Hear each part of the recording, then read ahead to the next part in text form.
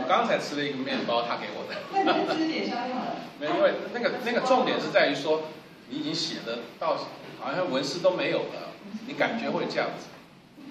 可是影响我最大的是让我变成一个说，我每天会记账，我每天会写我的那个那些行事历那些东西。那那他问一下好了，你第一次写劳不累走是什么时候？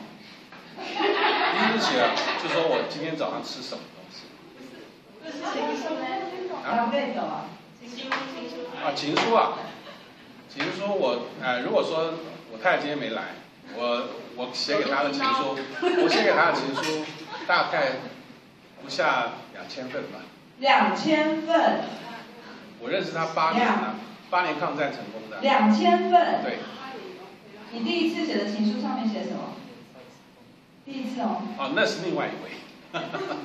孩子，那小那个另外就好，那个四千多封的那个不要算。第 一份，第一封写给我太太的情书啊。对对对，第一封。真的忘了。太忘了，好可惜。真的忘了，真的忘了。他老婆有留着吗？他。你打电话叫他来好不好？他叫他早点来就好了。他不给人留着，因为，因为他我岳父说那个都是被子，然后要烧掉。我岳父是文学家。等一下，等一下，可是你写了会烦，那为什么会写情书还可以写两千多封？我当兵的两年，我当兵当狱官两年，我每天都写封情书给。每一天。都要写封书。没有间断。对。你这两年才一千，两年还不到一千。不是啊，我我结婚，抗战八年，我不是讲。所以你是写了八年才娶到她。对对。老师上次的课，他太太有一起上。对，我知道，我是他那天跑来。OK，好，又是一个奇葩。好，没关系，这个待会慢慢来。那六年级写日记的人，对你有没有什么帮助？写作对他帮助。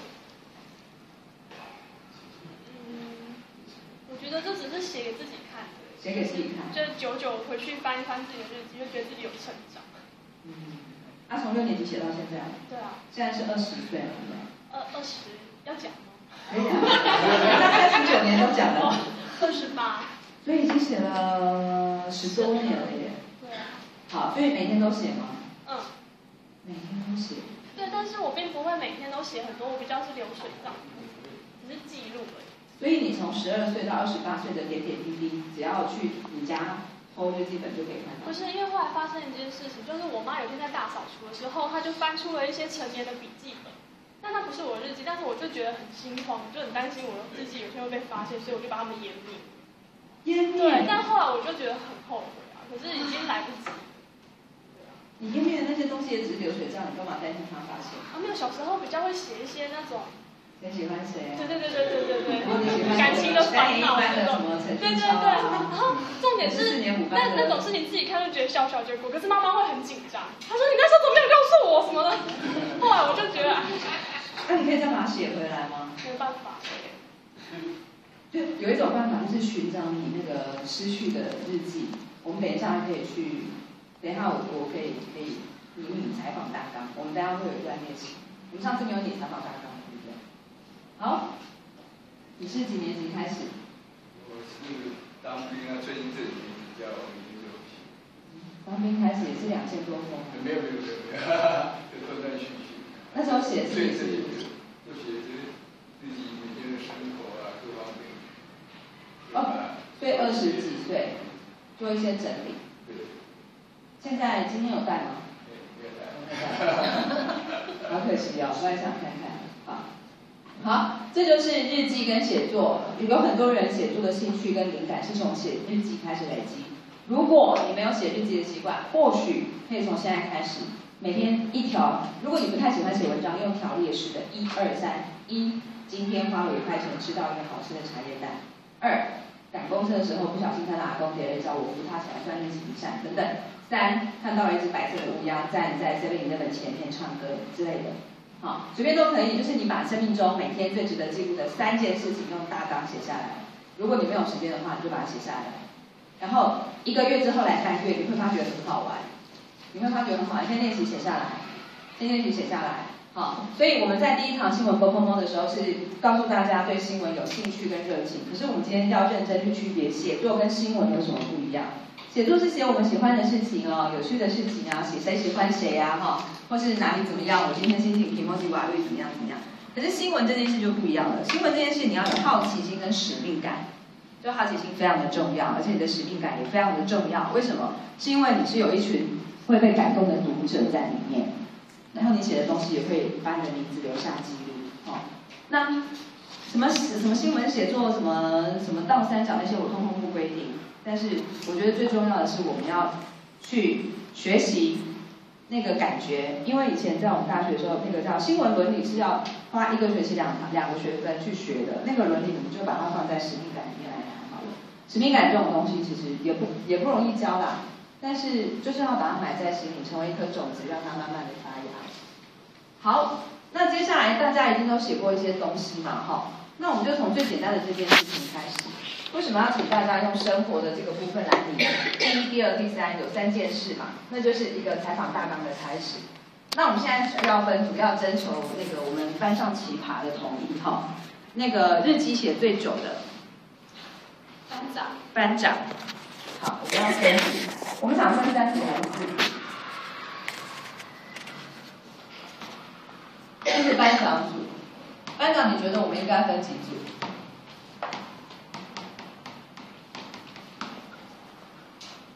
你觉得我们如果要讨论到比较有一些效率的话，你觉得我们要分几组比较好？三组就可以了嘛？好，OK，那我们就分三组，班长组，还有不写会死组，好，不写会死组。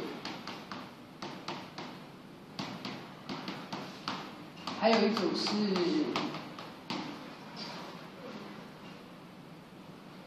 还有一组是阿娥组啊，阿娥，这个鹅对不对？对对。好，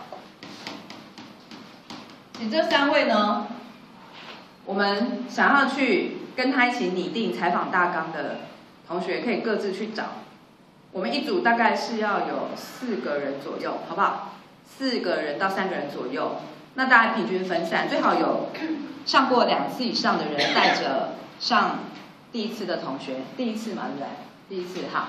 那你想，等一下我们要那个进了啊，不，那个要有那个尊贤了哈。你想要选哪一组？我们刚刚都听过了，大概。啊，要要哦，不写会死。老师，你取这个名字没有人要来这组了。啊，你自己改一个嘛，好不好？可以，我觉得这个可以。好，不写会死组，好，OK。那你优先指定了，其他我们就自己来，好不好？那至少我们要分组，然后待会就是开始要做一件事情，就是你那一组的每一个同学都要针对你的组员，你一个采访大纲加起来就是你这个组的采访大纲，每个人都要对这个人提出一个问题，但是不能重复哦。不能重复哦，这样子好不好？就像我刚刚说的，一什么二什么三什么，如果有四组，你要给我四个问题，就是你的采访大纲。然后这个采访大纲最后由每一组的组长来统整，你们要开始讨论，哈，你们就开始问他问题，开始聊聊聊。然后有五分钟问问题的时间，问完之后，队长觉得很棒的问题，你就把它写下来。你很喜欢哪个问题，你就把它写下来，好。然后每个人都要发问哦，就要好计时开始，我们到四十分开始分组。你看你对谁有兴趣，你就去找他。可以开始啊。老师，那请问一下，就是说，是不是说现在分组，然后我我们三个就是被采访的对象？没有，就是组长要负责收集同学的问题。那我们要问什么？没有，你不用问啊。那我问，他们问我。对，就是针对你来发问，你要选问题。对，你要选他们的问题，你觉得他们问的问题不错的，你要把它选下来。然后把它做成三题，就是每一个人的问题。对对对，可是每个人都要问一个问题最少。他们想问我。对他们问你问都什么什么问题都可以，你愿意回答的。对对对，但是一定要先写问题，不一定要让你回答，你可以简单的回答。我们主要是在拟问题。问题有效果吗？对，就是根根据这个人你有兴趣的，然后你你有兴趣，因为我们刚开始讲兴趣很重要，对不对？好，那开始我们可以开始。鸟兽散，然后赶快去问问题。是写作还是新闻？写问题。不是，不是问问题。意思是说以新闻的方式，还是以写作的方式？你刚刚说新闻，新闻。就写新闻是好奇心跟使命感嘛？对对对对。兴趣啊，你刚。啊，没关系，就是你有兴趣的那个人，你对那个人有兴趣，才会想要去写嘛，对不对？有好奇，对不对？没关系，这个东西我们先打散。